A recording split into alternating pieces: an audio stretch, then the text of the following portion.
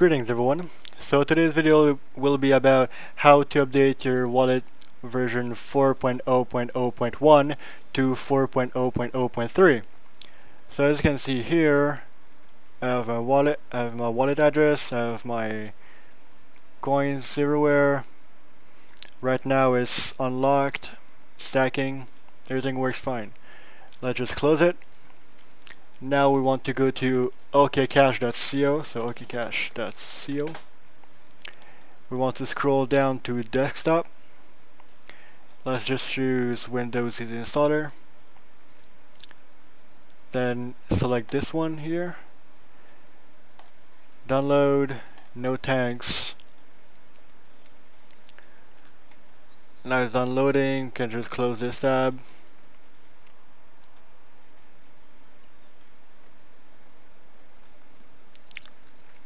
Once it's fully downloaded, just click here, okay, next, agreed, next, next, next, next, install. And now that it's fully installed, make sure it's launched. And now that what it is loading,